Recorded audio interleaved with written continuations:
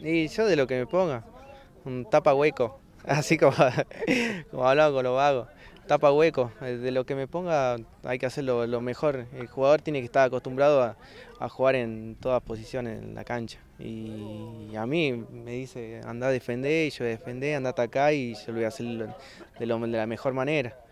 Así que estoy a disposición de él. Bien, Villacuba se reforzó bastante, policial, casi todos los equipos, Vélez.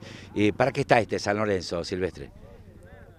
San Lorenzo eh, tiene un muy buen técnico, muy buen técnico que sabe lo que quiere, que yo hable mucho ya con el técnico, más allá de, lo que puedan haber dicho, yo le escuché anoche en, el programa, eh, más, allá de lo económico, de lo que va puede ir un jugador a un club y lo otro, eh, lo primordial es eh, hablar con el técnico, con la dirigencia y ver qué perspectiva tiene para, el torneo, para el equipo, eh, con qué él quiere nutrir el, equipo, el plantel, eh, qué ideas tiene para el sistema de juego.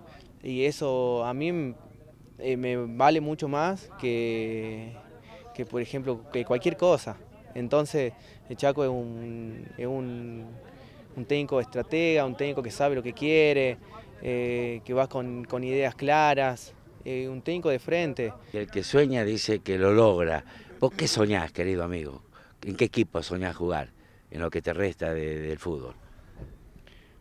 Y eh, usted le pregunta a un jugador de fútbol qué sueña, a dónde sueña jugar y te va a decir en, lo más alto, en primera, llegar a primera, llegar a la selección argentina, emigrar a equipos de estelares, Real Madrid, Barcelona.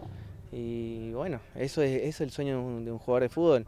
Es como que yo le pregunto a usted eh, a dónde quisiera, qué, partido quisiera relatar o a dónde quisiera estar. Y, seguramente cuando está en Teis Sport, en, en partido de la Argentina, que salgan cadena mundial. No me la contestaste. Yo pensé que me iba a decir, mira, yo aspiro a jugar, qué sé yo, en Rosario Central o en Talleres, me, pareció. yo, en Obrero, en Obrero de San Isidro. Qué bueno. Sí, sí. ¿Por qué en Obrero?